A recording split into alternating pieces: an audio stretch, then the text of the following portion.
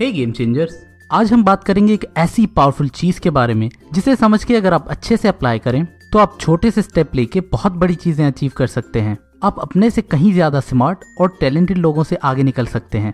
ये आपको health wealth relationship हर चीज़ में हेल्प करेगा। दोस्तों, ये पावरफुल चीज़ है कंपाउंड इफ़ेक्ट जिसके बारे में आइंस्टाइन ने भी ये कहा कंपाउंड इंटरेस्ट दुनिया का आठवां अजूबा है और कंपाउंडिंग दुनिया की सबसे पावरफुल चीज़ है।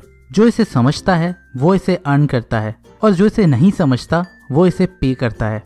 अगर आइंस्टाइन इसे दुनिया की सबसे पावरफुल चीज़ क्यों मानते थे? ये समझने के लिए ये पूरी वीडियो ज़रूर देखें। तो चलिए शुरू करते हैं। दोस्तों, कहते हैं कि किसी बादशाह ने जब चेस गेम खेली तो उसे वो गेम इतनी पसंद आ गई कि उसने चेस के क्रिएटर को बुला के ये कहा कि, बोलो तुम्हें क्या चाहिए? उस क्रिएटर ने कहा कि, बादशाह सलामत और कुछ नहीं बस इस गेम के पहले स्क्वायर पे एक राइस का दाना रख के हर अगले स्क्वायर पे उसे डबल कर दें। तो बादशाह बहुत गुस्सा हुए और सोचा, क्या बेवकूफ़ आदमी है? और उस क्रिएटर को कहा कि, तुमने ये मामूली से दाने मांग के मेरी इंसल्ट की है। अगर तुम्हें कुछ चाहिए था तो तुम हीरे जवाहरात मांगते। तो उस क्रिएटर ने कहा, नहीं बादशाह सलामत, मेरे लिए बस इतना ही काफ़ी है। तो उस बादशाह ने अपने सिपाहियों को ऑर्डर दिया कि चावल के ये दाने गिन के उसे दे दिए जाएँ। कुछ दिनों बाद वो सिपाही दौड़ते हुए बादशाह के पास आए। और कहा, बादशाह सलामत, वो बंदा कोई बेवकूफ़ नहीं, बल्कि बहुत चालाक निकला। वो चावल के जितने दाने मांग रहा है, उतने तो पूरी सल्तनत में नहीं है। ये सुन के सब बहुत हैरान हो गए। और आप भी हैरान हो गए ना? तो आइए देखते हैं कि ये कैसे पॉसिबल है। चेस की गेम में टोटल 64 स्क्वायर्स होते हैं। तो पहले स्क्वायर पे एक दाना, जिसे हर अगले स्क्वायर पे डबल करना है। दूसरे पे दो, थर्ड पे हुए फोर दाने, फोर्थ पे हुए एट दाने, और फाइव पे सिर्फ़ सिक्सटीन दाने। इसी तरह हम अगर सिक्सटी फोर्थ और लास्ट स्क्वायर पे आए तो ये बनेंगे राइस के इतने दाने, जो मुझे तो बोलना भी नहीं आते। लेकिन अगर इसका वेट मेजर करें तो वो बनेगा 461 बिलियन मेट्रिक टन जिसकी आज की प्राइस पे वैल्यू बनती है 300 ट्रिलियन डॉलर्स यानी इस पूरे प्लेनेट अर्थ पे जितनी वेल्थ है, उतनी। तो अब समझ आया आपको कि वो बंदा कोई बेवकूफ़ नहीं था, बल्कि बहुत ही इंटेलिजेंट था, जो कंपाउंडिंग के पावर को सही से समझता था। वो सिर्फ़ कुछ चावल के दाने नहीं बल्कि दुनिया की पूरी वेल्थ मांग रहा था। बेसिकली कंपाउंड इफ़ेक्ट जिसे हम डोमिनो इफ़ेक्ट और स्नोबॉल इफ़ेक्ट के नाम से भी जानते हैं। ये बेसिकली एक ऐसा प्रोसेस है, जिससे आप अपने कमाए हुए रिटर्न पे भी और रिटर्न कमा सकते हैं, जिसका इम्पैक्ट आगे और बढ़ता जाता है। ये वैसा ही है कि आपके किसी चीज़ के बच्चे हों और उसके बच्चों के बच्चे भी होते जाएँ और ओवर टाइम मिलके ये एक बहुत बड़ा इफ़ेक्ट बन जाए। चलिए इसे समझने के लिए एक और इंटरेस्टिंग गेम खेलते हैं। अगर मैं आपको दो ऑप्शन दूँ कि या आप तीस लाख रुपए आज ले लें, या फिर एक रुपया, जो अगले थर्टी वन डेज़ तक डबल होगा तो आप क्या चूज़ करेंगे? मान लीजिए अगर आप वो तीस लाख वाला ऑप्शन चूज़ करते हैं, और आपका दोस्त वो एक रुपये वाला।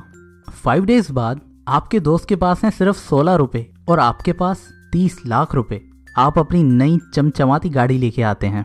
आपका दोस्त आपको देख के उदास होता रहता है, और आसपास के लोग उसे ताना मारते हैं कि अबे बेवकूफ़, तुम भी वो पहला ऑप्शन चूज़ करते। तुम्हारे पास भी तीस लाख रुपए होते।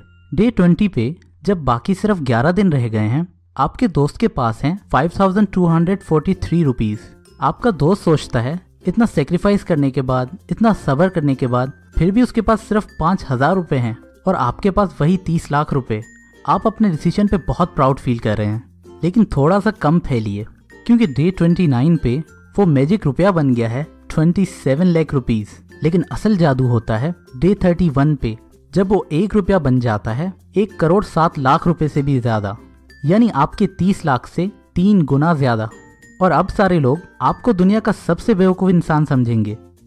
जी हाँ दोस्तों ये है कंपाउंडिंग का पावर जिसे आपके दोस्त ने तो यूज़ किया, लेकिन आप नहीं यूज़ कर पाए। कंपाउंडिंग स्लोली ओवर टाइम एक बहुत बड़ा इम्पैक्ट क्रिएट करती है। अगर हम कंपाउंडिंग का ग्राफ देखें तो वो कुछ ऐसा होता है। शुरू में रिजल्ट्स बहुत स्लो होते हैं, लेकिन अगर हम कंसिस्टेंट रहें तो हमारी सारी एफर्ट्स मिलके एक बहुत बड़ा कंपाउंड इफ़ेक्ट क्रिएट करती हैं, जिसके बाद चीज़ें बहुत तेज़ी से ग्रो करती हैं। लेकिन दोस्तों, इंसान बहुत बेसब्रा है, इसलिए जब शुरू में रिजल्ट्स नहीं आते तो बहुत सारे लोग क्विट कर लेते हैं।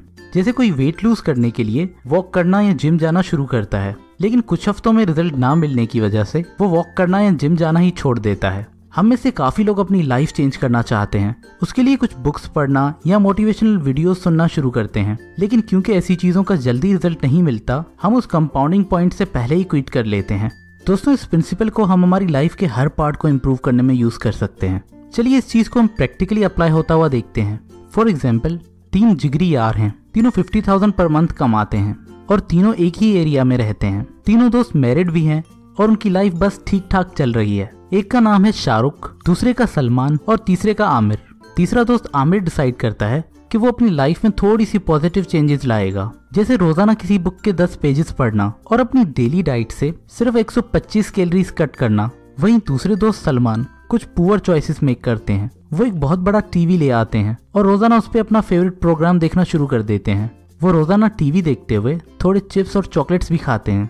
वहीं उनके दोस्त शाहरुख अपनी लाइफ में कोई भी चेंजेस नहीं लाते, और जैसे लाइफ चल रही है, वैसे ही चलने देते हैं। पाँच महीने बाद, तीनों में कुछ खास डिफरेंस नहीं है। तीनों का वेट भी सेम है। बस आमिर थोड़ा बुक्स रीड करता है, और सलमान टीवी देखता है, और शाहरुख जैसा चल रहा था, वैसा ही चलने देता है। एक साल गुजरने के बाद भी, तीनों में कोई खास डिफरेंस नज़र नहीं आता। लेकिन 31 मंथ्स गुजरने के बाद, हम तीनों में क्लियर डिफरेंस देख सकते हैं।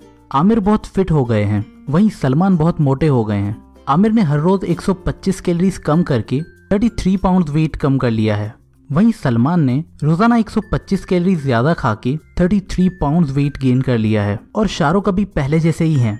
लेकिन दोस्तों, असल डिफरेंस तो बॉडी में नहीं, बल्कि उनके ब्रेन में आया है, जहाँ आमिर अब तक 1000 घंटे बुक रीडिंग और सेल्फ इम्प्रूवमेंट की चीज़ें सुन चुके हैं और उसी नॉलेज को अप्लाई करके उन्हें एक प्रमोशन भी मिल गया है और उनकी सैलरी भी बढ़ गई है। वहीं सलमान अपनी जॉब से ना खुश हैं। और उनकी अपनी बीवी से भी अनबन हो गई है और शाहरुख अभी भी सिर्फ़ पचास हज़ार ही कमा रहे हैं। तो दोस्तों, देखा कैसी चीज़ें ओवर टाइम कंपाउंड होके इतना बड़ा डिफरेंस क्रिएट कर सकती हैं।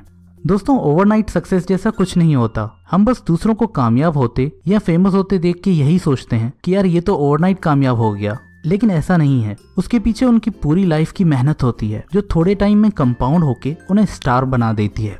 अगर मैं आपको इसको यूज़ करने का एक फॉर्मूला बताऊँ तो दोस्तों वो ये है कि छोटी और स्मार्ट चॉइसेस मेक करें और कंसिस्टेंट रहें। ओवर टाइम आपको रिज़ल्ट ज़रूर मिलेगा। अपने आप को ऑटो पायलट पे ना छोड़ें। अपनी लाइफ के डिसीज़न खुद मेक करें। तो ये बातें मैंने आपको डेरन हार्डी की बुक द कंपाउंड इफ़ेक्ट से बताई हैं। दोस्तों, अगर आप लाना चाहते हैं अपनी लाइफ में पॉजिटिव चेंजेस तो हमारे चैनल को ज़रूर सब्सक्राइब कीजिए और बेल के आइकन को दबाइए, ताकि आपकी लाइफ में हर वीक ये पॉजिटिविटी का घंटा बजता रहे।